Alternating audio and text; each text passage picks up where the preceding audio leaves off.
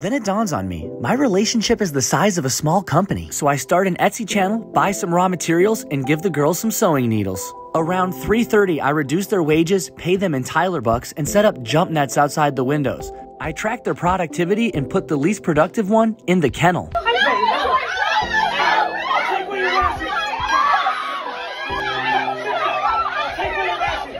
I'll take away your rations. Yeah, that's what I thought. Now get back to work. This typically motivates them to work harder. We quickly become the number one homemade sweater channel on Etsy. At 10 p.m., after a 14 hour shift, I tuck the girls in for the night. They now live where they work and get paid in fake money.